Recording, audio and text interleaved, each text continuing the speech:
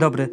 Szanowni Państwo, kiedy po raz pierwszy wziąłem w swoje ręce tego typu instrument, czyli tank drum, to właściwie spędziłem godzinę grając w kółko te dźwięki e, i mówiąc krótko, chilloutując się, bowiem takie właśnie moim zdaniem brzmienie ma ten instrument i doskonale nadaje się właśnie do takich chilloutowych, transowych, e, relaksacyjnych brzmień. I biorąc pod uwagę pogodę, jaka y, aktualnie panuje, ten upał i to, że najchętniej położyłbym się w cieniu, to ja właśnie dzisiaj, szanowni państwo, chciałbym zaproponować troszeczkę chilloutu. I ja tylko krótko opowiem o tym instrumencie, a potem zapraszam do wysłuchania takiego troszkę dłuższego chilloutowego utworu stworzonego właśnie z użyciem tank drama.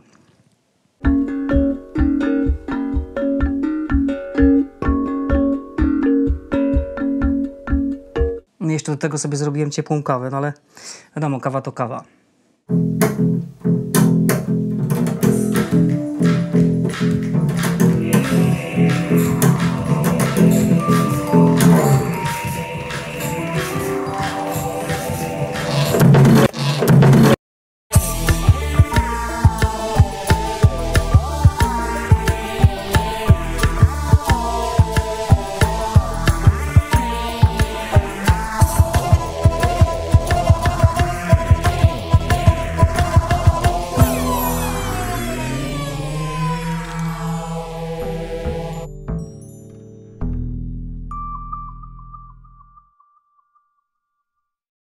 Szanowni Państwo, taki oto przedmiot dał początek instrumentowi, który nazywa się tank drum. Tutaj może od razu wyjaśnię, y, są dwie takie główne nazwy. Tank drum, czyli bęben zrobiony ze zbiornika oraz tank drum, czyli językowy bęben. Dlaczego? No tank drum ze zbiornika, bo właśnie zbiornik butla po gazie dały początek temu instrumentowi. A tank drum, dlatego że żeby powstał e, taki instrument z butli gazowej, trzeba wyciąć takie języki. I one mogą być w różnych kształtach. Ja akurat mam instrumenty, które mają takie prostokątne języki. Długość, szerokość, czy ogólnie powierzchnia tego języka stanowi o wysokości dźwięku, jaki wydobywamy e, uderzając w instrument, w te języki właśnie.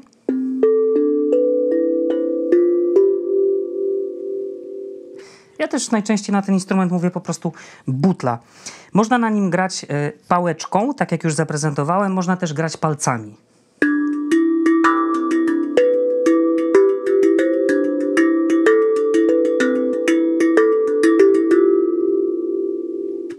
Jednak wolę właśnie y, brzmienie wydobywane pałeczką, ponieważ ono jest moim zdaniem pełniejsze.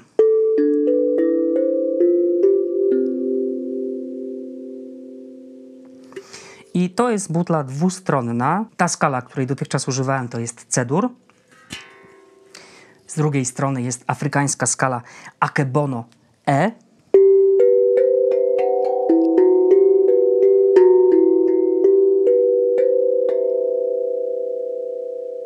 Kolejna butla również dwustronna, z jednej strony C-dur, ale w wyższej oktawie.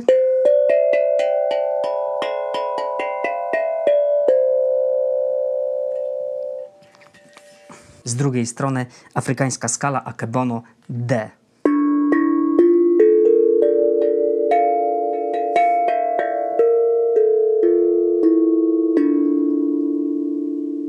No i najstarsza, najbardziej wyeksploatowana butla z mojej kolekcji, na której właśnie za chwilę wykonam ten e, chilloutowy utwór. Widać, że tutaj były jakby jakieś przeróbki dokonywane. Otóż nie chodzi o to, że jakoś przerabiałem ten instrument, chodzi o to, że te instrumenty też niestety potrafią się rozstroić. No a jak nastroić instrument, który jest zrobiony z metalowej butli gazowej?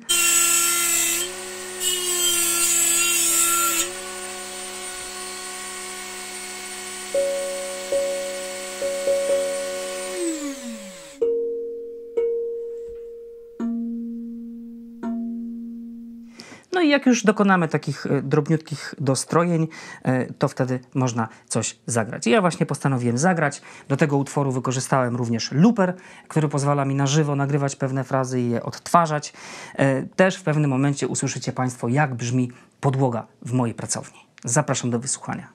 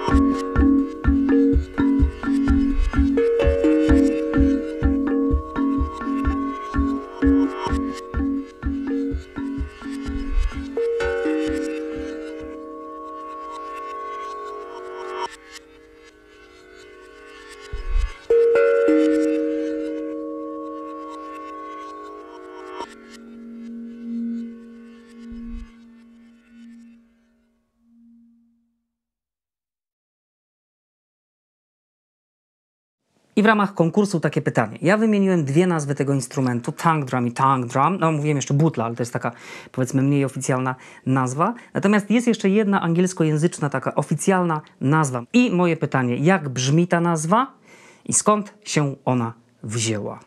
Zapraszam do udziału w konkursie, zapraszam do komentowania mojego odcinka, zadawania pytań, do wysyłania maili, do udostępniania. No i za niedługo spotkamy się w odcinku już 17.